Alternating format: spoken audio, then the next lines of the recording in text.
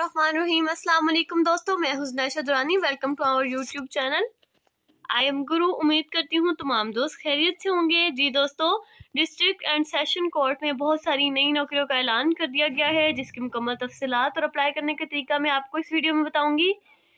और इसी के साथ साथ अप्लाई करने का लिंक आपको इस वीडियो की डिस्क्रिप्शन से मिल जाएगा। सबसे पहले तो आप हमारे यूट्यूब चैनल को सब्सक्राइब कर लें ताकि आपको पाकिस्तान में आने वाली तमाम तर जॉब्स का पता चलता रहे। इसी के साथ अब हम चलते हैं अपनी जॉब की तरफ़। सबसे पहले आपने अपने मोबाइल फ़ोन या लैपटॉप से गूगल क्रूम को ओपन कर लेना है। उसके बाद सर्च बार पे आपने R O G I D A Y रोजी डे लिख कर आपने सर्च कर लेना है, ठीक है? आपके सामने जो वेबसाइट आई है, इस पर क्लिक करके आपने इसको ओपन कर लेना है।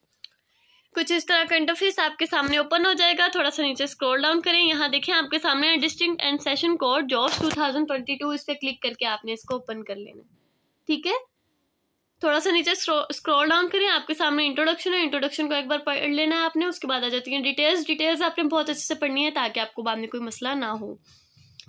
इकतीस मार्च से आप इसमें अप्लाई कर सकते हैं। पच्चीस अप्रैल तक, पच्चीस अप्रैल इसकी लास्ट डेट है। ठीक है, उसके बाद हम बात करते हैं एजुकेशन की तो मैट्रिक वाले इसमें अप्लाई कर सकते हैं मेल और फीमेल दोनों अप्लाई कर सकते हैं, बहुत सारी वैकेंसीज इसमें खाली हैं। वैकेंसीज की पोजीशंस जो है वो है, इसमें डिस्पैच राइडर की जो पोजीशन खाली है, ठीक है।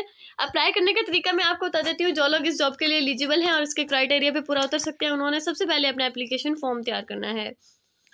एप्लीकेशन फॉर्म आपने ऐसे तैयार करना है कि पास आपके पास आपका डोमिसाइल होना चाहिए, आपके सी एन की कॉपी होनी चाहिए, आपकी पासपोर्ट साइज़ तस्वीरें होनी चाहिए, आपके फादर के सी एन की कॉपी होनी चाहिए। और इसके अलावा आपके तमाम एजुकेशनल और एक्सपीरियंस सर्टिफिकेट्स होने चाहिए, ठीक है? आपने अपने तमाम डॉक्यूमेंट्स को टेस्टेड करवा के अटैच कर देना है। और उसके बाद यहाँ देखें read official announcement official announcement को एक बार ओपन करके आपने रीड आउट कर लेना है। नीचे आपको एड्रेस लिखा हुआ नज़र आएगा, इस एड्रेस पे आपने अपने तमाम तर डॉक्यूमेंट्स को किसी पोस्ट ऑफ़िस के ज़रिए कोरियर करवा देना है, ठीक है? तमाम तर डिटेल्स मैंने आपको बता दी हैं। अगर अभी भी आपको कोई मसला हो रहा है तो आप मुझसे कमेंट सेक्शन में पूछ लें। आने वाली अपडेट्स और नई मालूम के लिए हमारे यूट्यूब चैनल को सब्सक्राइब करें। इसी के साथ इजाज़त चाहती हूँ। खुदा हाफिज़।